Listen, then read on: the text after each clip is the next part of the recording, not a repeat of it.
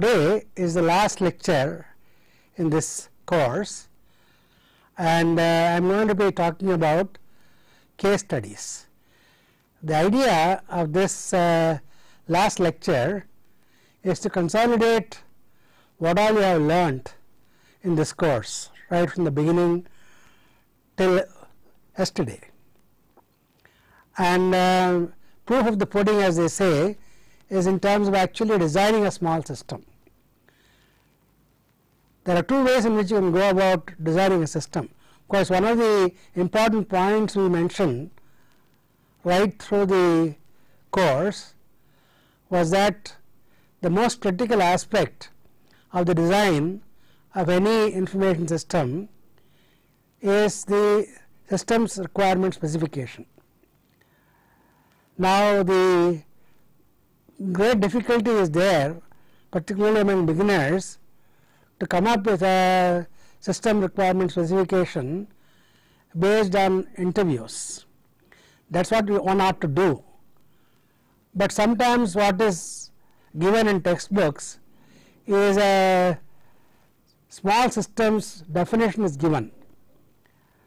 And so, the SRS is somewhat given in, in a brief way and based on that SRS one is expected to actually design, develop and implement the system and finally of course test the system whether it works correctly or not.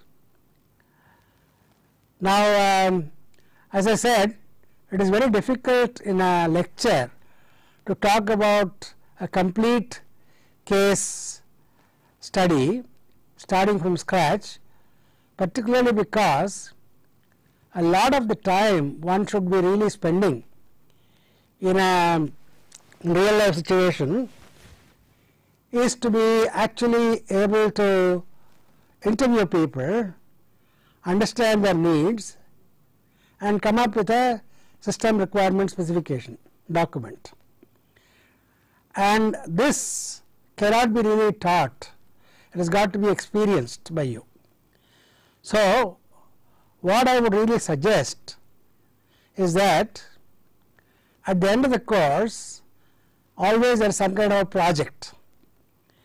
This project as part of the project you have to be going and interviewing some uh, users and develop a system of appropriate use to them. And uh, at the end of the talk I will mention some of these things, some of these typical things, typical kind of situations or typical examples where one could really go and within a short time which is normally available in a course one would be able to implement a system. Of course, there is a variation from university to university. Normally in the MCA course we expect the student spends almost a semester working in industry actually being an understudy to a systems analyst in the sense that observe what a system analyst does and develop a system along with system analyst as maybe his assistant or her assistant. But this even though is ideal does not really happen in practice for a simple reason that the number of students who are graduating with an MCA is extremely large and they find it very difficult to find industries and various system design companies for, for accommodating them. They do not accommodate them because the number is too large for them to accommodate and mostly so it was done in the college itself. In the BE course also even though there is a summer training many places do not have that as compulsory and so you end up essentially doing it as a part of the course maybe as a project in the course and that because of the time constraint necessarily has got to be a small project. Of course, every student has a BE project. Many places they have two projects, a minor project and a major project. A minor project can be something like, like this, developing a small system for a practical situation and that will go a long way in your understanding what has been taught in this course. Now, in the, the textbook we have been following, namely systems analysis and design, the last chapter, uh, the chapter which uh, is chapter 17 in this book, is devoted to system design examples. Primarily, this chapter is concerned with developing a case studies and one complete example is worked out for a journal acquisition in a library starting from actually interviewing the concerned people what questions to ask how to create or how to develop the SRS and from then on how to do the rest of the tasks which are part of the system design. And um, in the web support material which accompanies these lectures, there is also another example worked out of a case study of development of a small system. So, I would suggest that you read through these things to get an idea of what you are supposed to really do in in uh, in developing a, a, case study and developing a project or coming up with a complete implementation uh, for, for a given project. Now, in this book at the end of this chapter there are uh, number of exercises where actually I have given a total number of uh, about uh, 10 exercises. There are exactly 10 exercises. Each one given a different situation and uh, because it is a book I give a skeleton SRS.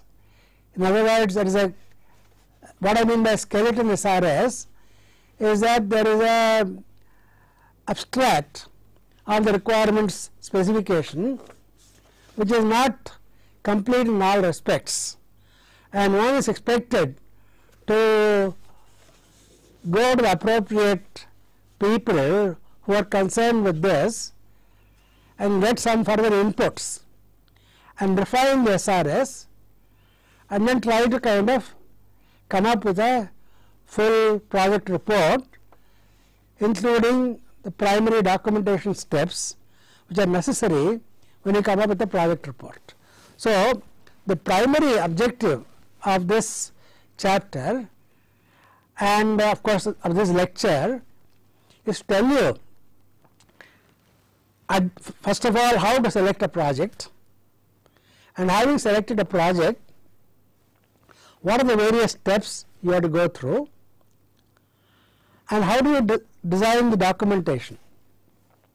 What should the documentation contain what sections it should contain and what should be the end product of this project report which is submitted as a part of your coursework as I said most, pla most places. Or even if it is a mini project that gives you a guideline on how to develop a mini project and the project may be slightly more complicated. And uh, so that is the primary intention. This lecture, the primary intention is to guide you through the exact steps you have to follow and the type of documentation you have to prepare as you go along. So at the end of the project, you have a reasonable report you can submit to uh, your teacher. Many places the project may not be a single person project it may be a team project, maybe two students working together or three students working together more than 3 is too much. Normally 2 is ideal.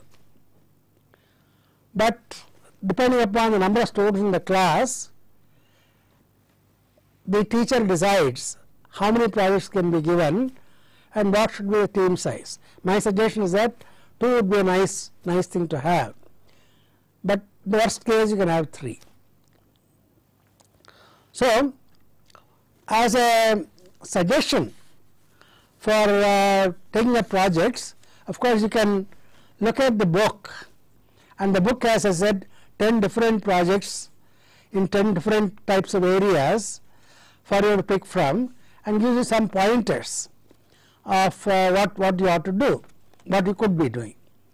But if you suppose a good, good practice for you would be, as I said, not to start with a NSRS, but to create a NSRS. From actually talking to people or talking to uh, groups or uh, organizations where you really want to develop a system and implement a system. Because they may not entirely trust the system with you as a student, but at least some of them may accommodate you and spare a little time for you to talk to them to get at least an idea of what problems they face which can be which can have a computer based solution. So, for instance, if you are going to be looking for projects, one, so there are several ideas. You can go to a local medical shop in your neighborhood, and because most medical shops in this country do not have any computer. There are actually one or two man sh shops, and uh, they can definitely use a machine effectively because a medical shop owner for instance deals with lot, lot of different medicines wide variety. So, a reasonable inventory system a system whereby he is able to reorder when something is below a certain number on the shelf automatically by email because many of the distributors have today email.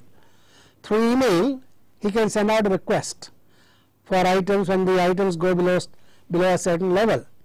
He can also look at the expiry dates and if it is coming close to expiry date he may be able to get the distributor to take back and give fresh items.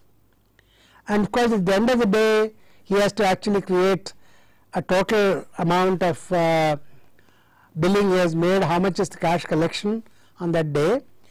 And besides that, many cases because the medical bills are reimbursable, he is expected to give a bill with the batch number and all that. And that bill preparation is expedited with a small computer, with a small printer in it.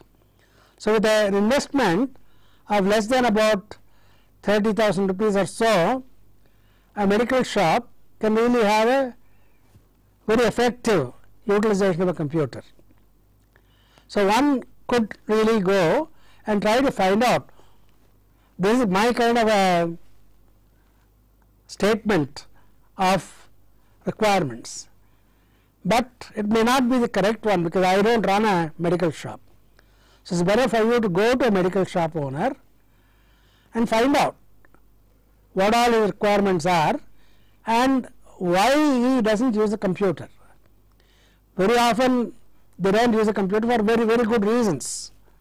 Maybe because the power is not very reliable and electricity can fail all the time or maybe because he has no place to put the machine or maybe because he does not know how to use the machine effectively. So, there are many many reasons why he may not use it, but if you are able to tell or convince the person that a machine is usable and in what way it can be used, in what way it will be cost effective in terms of cost benefit, then maybe the person may be convinced to put in a, a machine. In fact, many groups have started small systems development and information systems companies based on catering to small businesses because there is a very large uh, number of for instance medical shops and so the possibility of using similar system in many shops is quite high. So again it brings out the point that whenever you develop a system you should parameterize it so that the same kind of a program can be transported to shop from shop to shop to shop without too much of rework. That way you make a profit. In other words, you can even make a, a product which is appropriate, software product which is appropriate for the use of medical shops. So, this is one example. There are many large cloth shops which sell cloth, cloth, clothing of various types, ready-mades, uh, uh, cloth which you can buy by meter and so on. And uh, they have a fairly large turnover. What I mean is at the end of the day their collection may run into thousands of rupees. So again they may have a need for a machine and you may be able to find out what uh, the requirements are and how a machine can be useful okay? And what will be the cost benefit? And you can look at sanitary fittings shop. Sanitary fittings is a huge number of sanitary fitting shops. That is taps they sell and uh, bathroom fittings and so on. There many of them are very very expensive.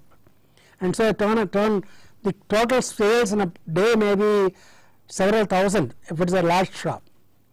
Again one may kind of look at reasonably sized shops which have good turnover that means they have large sales. And uh, you may go to a, a local uh, um, doctor. See he may have a very big practice. I am not talking about a doctor who is kind of a has got very few patients but a specialist maybe who has, he who has gives appointments who is secretary who kind of charges reasonable amount for your services. And he may be able to kind of use a machine for purposes like uh, the um, medical record of uh, patients uh, billing and uh, appointments, diaries and so on. So, there again because he has a clinical staff, he may be the, the doctor, he or she may be able to use a machine effectively.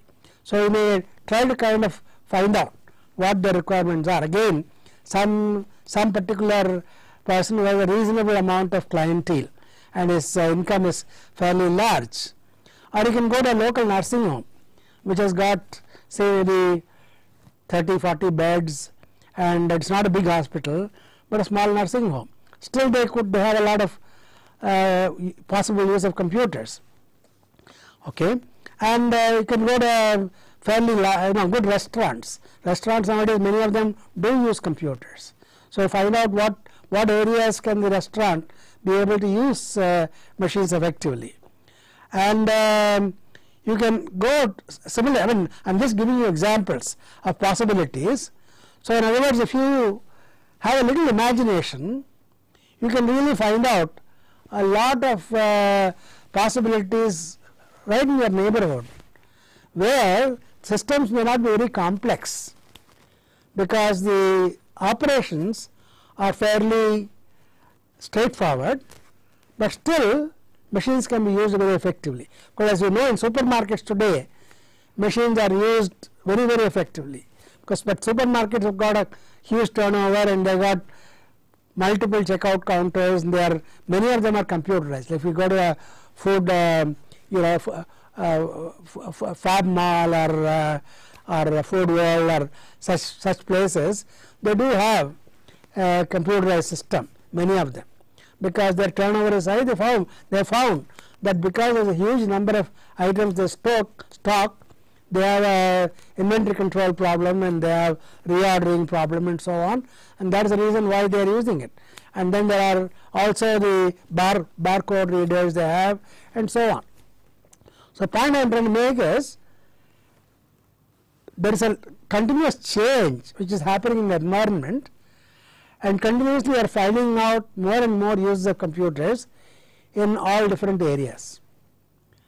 So, having given this kind of a motivation for you to start looking at what I would say how to develop a project, how to kind of identify a project. Having identified a project, what do you do next? And what kind of documentation do you prepare? that is going to be the rest of the talk. Now, steps to follow in this system design is first of all fact gathering and requirement specification.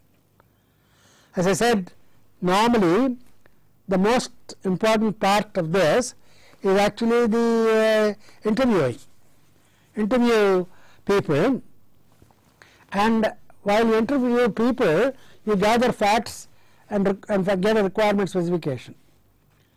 And um, so the kind of questions you can ask a person while doing the interview because first of all you have hierarchy chart of organization hierarchy chart, large organizations have a hierarchy, top management, middle management, operational management. We talked about this hierarchy early in the, the lectures. Apart from the management, there is also actually users, clerical staff and so on who use it. So, all of them got to be interviewed if it is a large organization. But we are going to talk to a small company like, like, like a medical shop, there is no kind of a hierarchy here. It is probably a two man shop, a two woman shop. Okay. So, there is a it, it is the, the proprietor proprietary concern you might say. The proprietor is all in all. He may have one or two people just take out the medicines and so on. But by and large, it is a, a number of number of people to be interviewed. In this case, is very small, maybe only one. In any case, uh, whenever you come up with the in a, in a, large organization, you find out the list of persons to be interviewed and you have to kind of list the questions to be asked. Now, the kind of questions you ask is why should computer based systems be, why is it being considered? Or in the case of if you are trying to convince somebody to have a computer based system, you can essentially say how computers can be useful to improve its operations. What are the objectives of the system? When I am going to put a computer based system, what are the basic objectives it will met, meet? What kind of a benefit it will get? What is the volume of data to be processed? See that that is very important. That is that is required to kind of size your computer for the company. So, what is the volume of data? What is the frequency of processing? It is is it online or is it batch? So, what is the kind of frequency of processing? More and more systems are becoming really online. What I mean by that is, if you talk about take an example of a medical shop, as and when he sells an item, he creates a bill and he creates the bill automatically the inventory gets updated. So, it is all happening while the customer is waiting. So, many systems with the emergence of PCs and networks and so on, this batch has become rarity rather than the normal thing.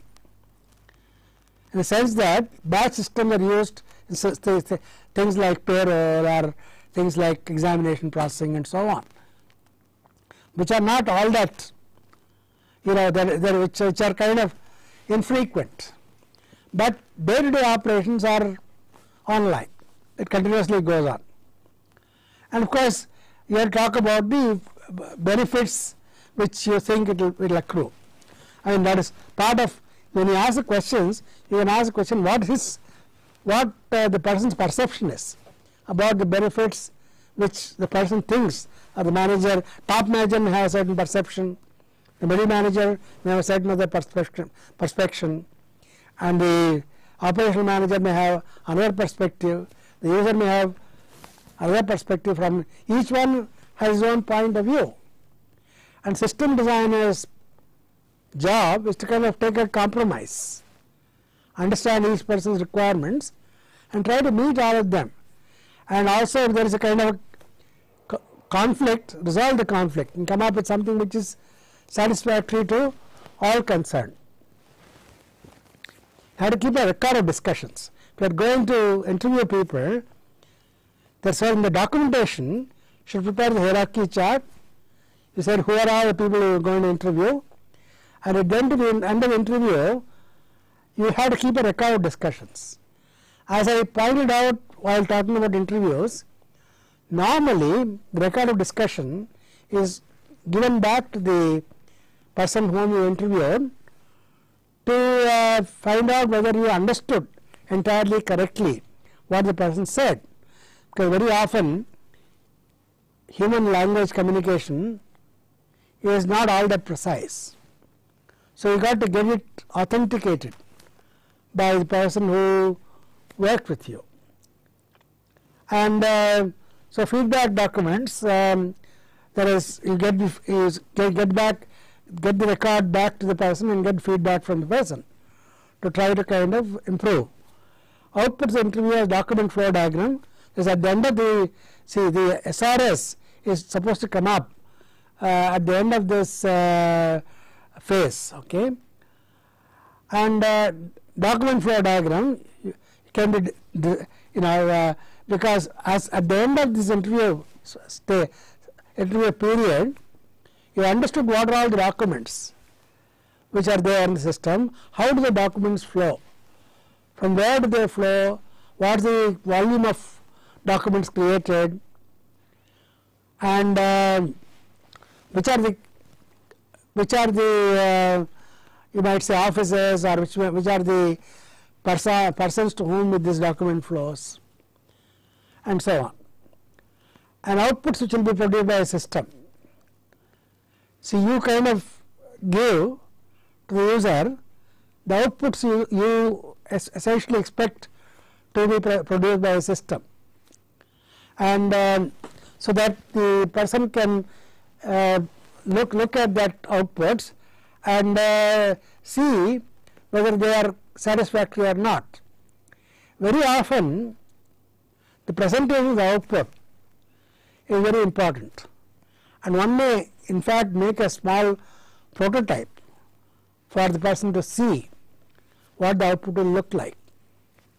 And um, create of course you have to create a the document flow diagram and something about the way in which that will be processed. You can come up with a rough data flow diagram. You can list the requirements to be met by your system. And having listed the requirements you have to say what are the strategic requirements tactical requirements and operational requirements because the these as I said top management requires certain types of information, middle management requires some other information and the operational management requires certain other type of information. And ultimately the data which is created is at the level of the clerical staff. So, the ease of creating the data and authenticating the data also has to be taken care of. So, come up with the strategic, tactical, operational requirements and one may not be able to meet all of them the system. So, you have to kind of prioritize and define the objectives again based on discussions. So, these prioritized refined objectives are also mentioned in your report. So, at the end of this phase effectively you have a requirement specification reasonably well documented. When I say prioritized refined objectives and strategic tactical operational requirements, essentially it is a requirements which you have perceived based on your discussions or interviews and what you understood from the documents they talked about and so on.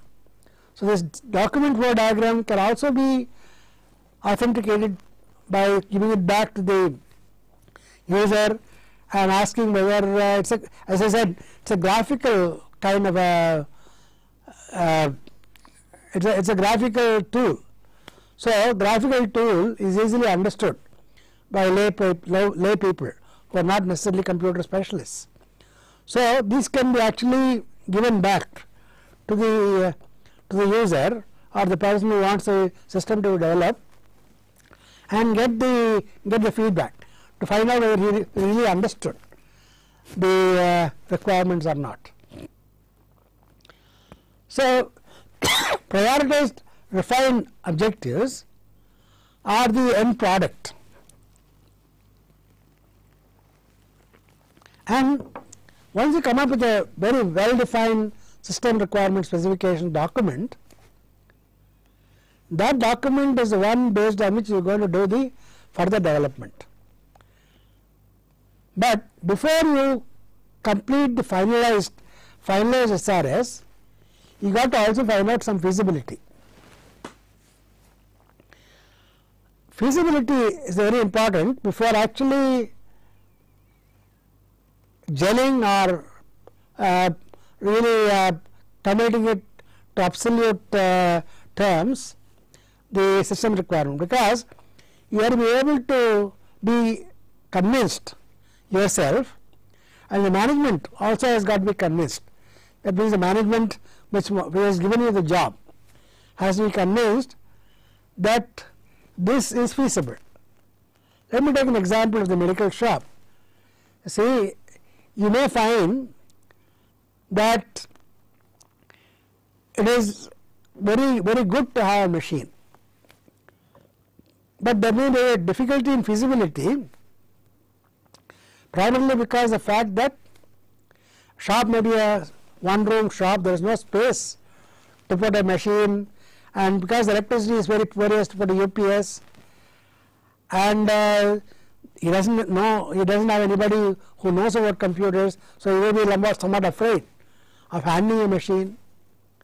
So even though in theory it may be a very good idea in practice it may not succeed. And so you have a real problem in this case. In other words, what, what may happen is that the system, even though could be developed, may ultimately become irrelevant as far as the uh, shop is concerned. In fact, I, I, had an interesting experience. I went to a sanitary fitting shop and uh, that guy was sitting down and writing out every every receipt uh, in longhand and he has a huge crowd and crowd is building up because he's got a huge turnover. It's a big shop with a lot of variety of goods and so on. So he's able to kind of sell a lot of items. And uh, when this queue builds up, people don't like to wait unnecessarily to, for the bill they would rather go to another shop which is close by. So I asked the person, why is it that you know he hasn't used a computer? And he had a very interesting answer. Said, sir, uh, I bought a computer, I started using it, but now it is in the basement. I am not using it anymore. I said, why? Why are you not using it anymore? He says, sir, uh, it, it, it, it got into some kind of a bug there were some virus problems came and every time I had to call the systems person and I cannot employ a systems person because he is too expensive and the person whom I call is not willing to come without a reasonable fee and it is also delayed. In the meanwhile my business suffers. So I, I found that it is easier to just go back to my old system rather than using, using a computer. Here primarily the problem was because of unreliability of software the person who developed the software for, the, for him put some unreliable software did not teach the, the shop owner about the uh, precautions he has to take in terms of and so on. And so, even though the, the person was convinced of the utility of a machine, he actually found it very uh, uh, you know not very feasible in terms of day to day use. He was not actually being able to, able to use it effectively. So that is why he bought it, but he put it in the basement. Another shop again has similar problem. They they said everything is fine, but then when I want to do accounting, there is no the, the guy came with an accounting software called Tally or something like that and that costs uh, 15,000 rupees something like that and I can't afford that much of money and after all my accounting is very small. So, I need something very simple to be done and so again the problem is that the analyst or the person who kind of convinced him to buy a machine did not look at the feasibility from the point of view of the user. So, the, the whole point which I am trying to uh, mention is that you have to kind of be a little bit more practical to look at the point of view of the person who is going to be using the machine and what type of difficulties he may face and come up with a reasonably rugged system which is easy to use which does not require any specialist. So, these are the important points you have to keep in mind particularly when you deal with small and medium sized businesses. In fact, the small and medium sized businesses are the largest in this country in terms of total number and so there is a lot of scope there because the large ones like banks and uh, insurance companies and so on they of course have used already started using it extensively. And that is not a that is done by large companies like you know the big big big big companies. But if you are going to be a, a small group doing something you have to look for small businesses. Okay? In any case the point i am trying to make is that feasibility analysis has to be done very carefully. You have to come up with quantified goals. Quantified means just that's just not qualitative, but say that the profit is going to be this much. Some some numbers. What are the resource needs? People, machines, and so on. In the case of a small shop, it's only one man. I mean, and he should be able to use it effectively. Okay. Cost rough, rough estimate of cost of hardware and software. Benefits quantified and qualitative both. Quantified in sense that if uh, if your total clients increase, then the profit will go going to go up. If you lose opportunities to sell because of crowding and they go to some other place, you lost opportunity cost. In other words, you lost the possible money you could have gotten because of your delay in processing. So, these things are got to be quantified. Time estimate for system implementation. You would also be able to say how much time it will take to implement the system. If you talk about few years, they may not be interested. And when you when you give a time estimate and a cost estimate, you got to adhere to it. Very often, the greatest complaint which is made about information system development, particularly large projects, because of a lot of you know large time overruns and cost overruns. What I mean by time overruns is if I promised something to be done in about 6 months or 8 months, if it takes a year or year and a half, the customer is highly dissatisfied.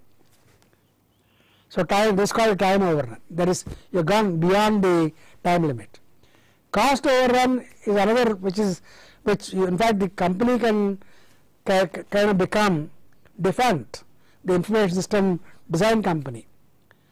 That if you estimate something like it's going to cost you x rupees and you find that the ultimate final cost is something which is double double x 2x then obviously the customer is not going to pay and so the question is really, you know, a good profitable company is one which is able to do a reasonable cost estimate with a proper reasonable profit margin and reasonable time estimate. And so as part of your case study, you must really understand the requirement for a time estimate and a cost estimate and be able to adhere to that time estimate and cost estimate and understand what are the difficulties in adhering to the time estimates and cost estimates. These things are discussed in much greater length in the software engineering course and we are not going to be, we have not talked about it in any great length. A project management is one big area, particularly large projects. The kind of time overruns and cost overruns can kill a company only in large projects. And very often information systems are abandoned because of the cost and time overruns. There are so many cases which you find in journals communications of ACM why systems fail. Fact, books have been written. And um, the book by Brooks called A Mythical Man Month. Why it took so long? There is somebody said it's going to take one year and end up doing the taking four years. That kind of a thing. See. So the, the point is at the end of this feasibility analysis, you refine your SRS. And the refined SRS along the feasibility is the one you get signed by the customer and you also are committing. The customer is agreeing to this cost, is agreeing to this time. By implication, you are also estimated the cost in time, you are agreeing to it. So, you cannot increase the cost or you, you cannot increase the time. If you do that, then, then many companies will have a penalty clause saying that for each month of delay, there is a penalty of so many rupees and if the penalty builds up you can very quickly lose your entire entire uh, you know the the uh, estimate of you know the cost you are supposed to pay you deduct from that cost and give you only smaller amount of money. So, I think it is very important to be reasonably reasonably uh, uh, what I would say confident about your time and cost estimates and based on this confidence you get the agreement of the user. The user also has to kind of sign off. Once he signs off the systems requirements specification, then of course the rest of the job is yours. In other words, you have to the uh, you have to adhere to the time and cost, but then he cannot change the requirements in the middle. That is the most important thing. Very often systems get delayed because the user changes his mind and changes the system requirements. That is the reason why prototyping at the very beginning and showing the user what the system will look like go along, goes a long way in avoiding misunderstanding between the user and the system developer.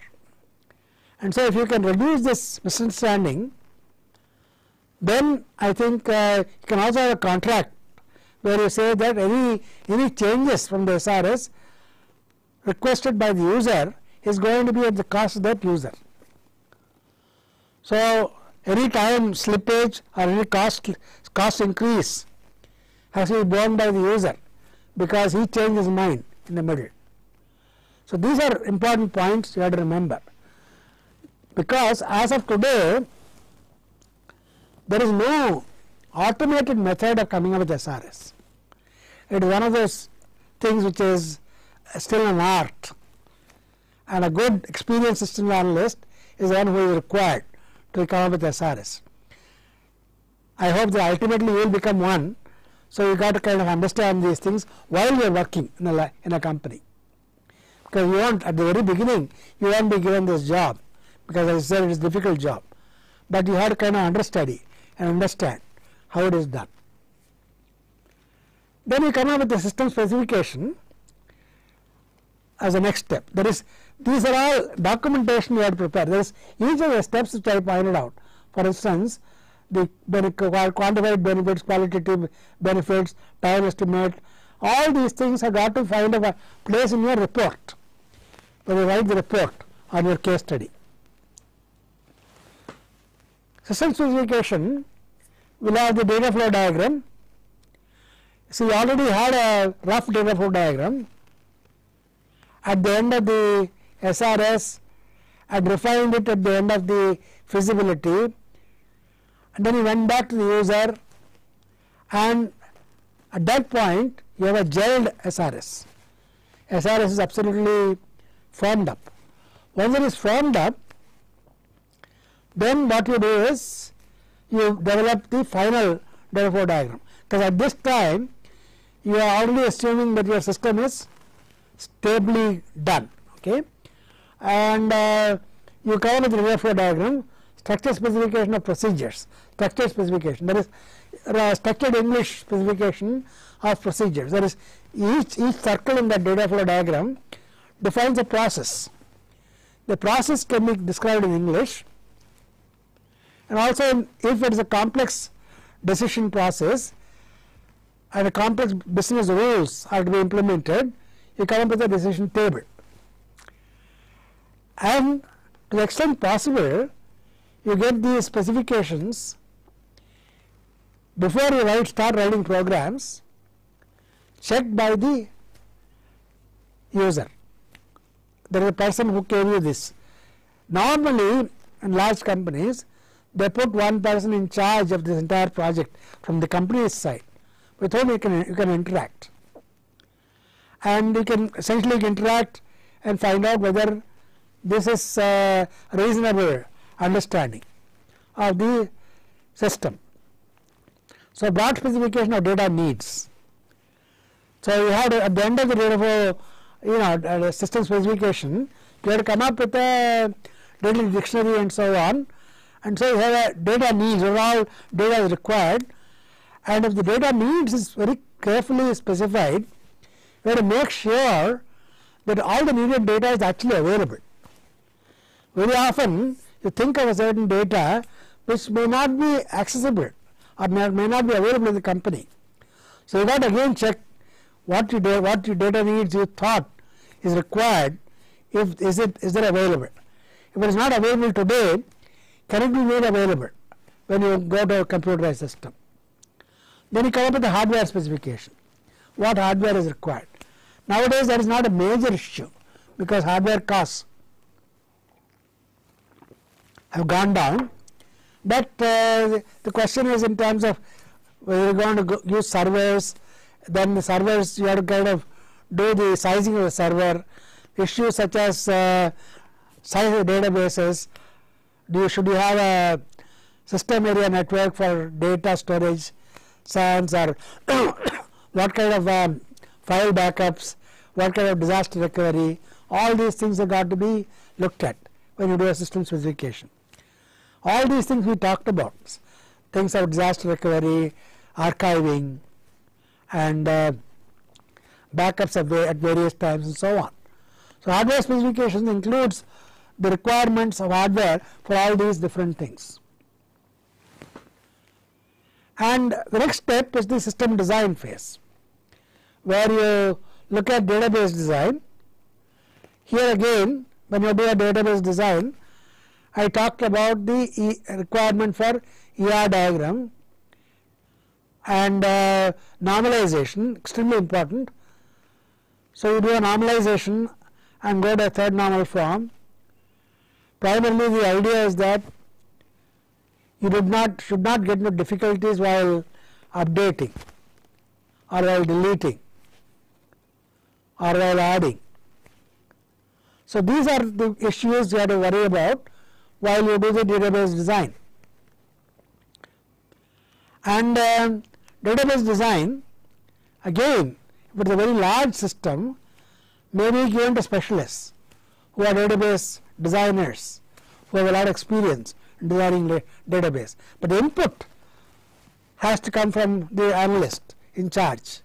The project may have many people, one of them may be a database designer. But what data has to go into database has got to be actually given by the systems analyst. So, in your mini project, you have to come up with a database. Okay, I to design a database and in at least the third normal form. And this database, there are many tools available, and also if you use an office software, Microsoft, there is a database you can store there and you can use a query language like SQL to kind of do a query on this database. So, you can also design the queries based on the requirements. As I said many systems are online systems where queries become very important like for instance one of the projects I am suggesting is in terms of bus reservation system. In a bus reservation system it is all query based in the sense that the customer asks is, is a reservation available uh, from Bangalore to Chennai uh, by bus leaving at say 10:30 at night on this day on this particular date. Then the query has to be developed and the uh, uh, at the the terminal one has to ask this query find out whether seats are available or not. The seats are available then one has to say what seat what is the choice of the customer in terms of seat. So essentially it's a interactive in that case. So it's a question of also the use of query languages and along with database.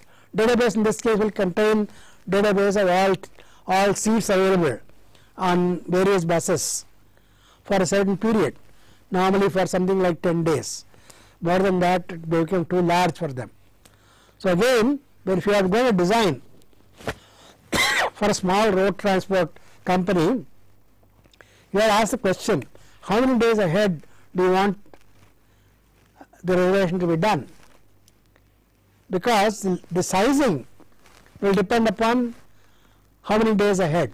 If it is one month ahead, the sizing is very large because for 30 days you have to keep the all the buses going and the entire database can bloat up. Because in trains they allow about two months, but trains are massive in terms of the kind of database they keep. It's all massive. But for small road road transport corporation, and also most people who go by road decide in the last minute. So there is no point in keeping too long back. So these are the point issues. So what is the method of encoding data data input? We talked about various methods of data input encoding.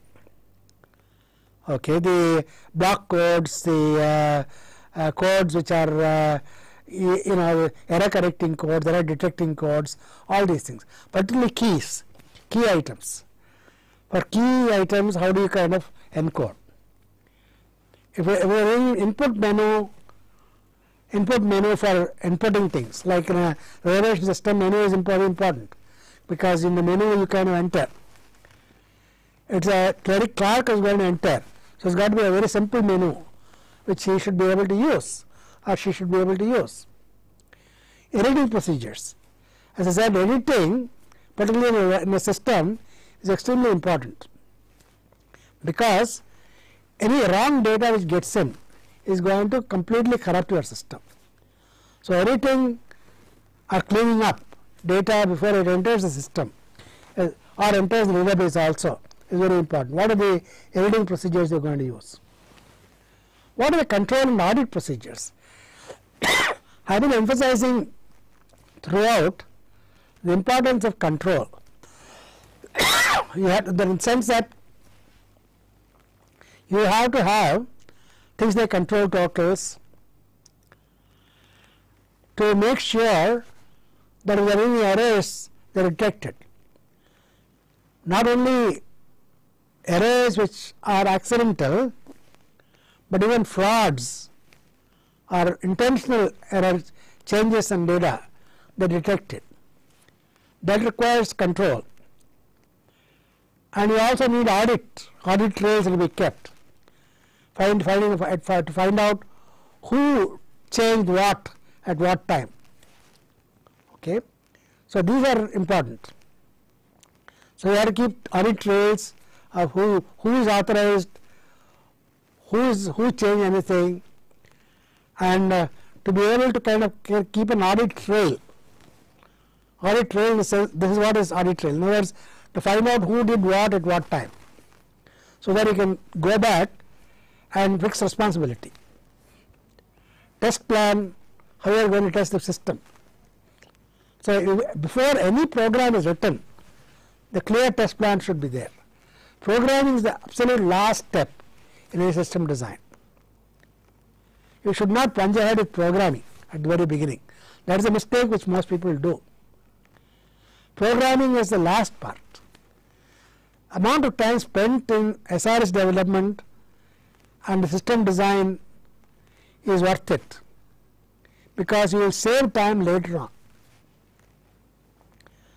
Program structure chart, what is a, we are going to use a number of modules. How are the modules connected? And if you are going to be using object oriented design and ultimately going to use an object oriented language like a, like C++, you to decide what objects are going to be used, how the objects will be linked, how can I make objects which are reusable. So, these are uh, important parts of the of the of the system design. See, there is a part of the actual system design part.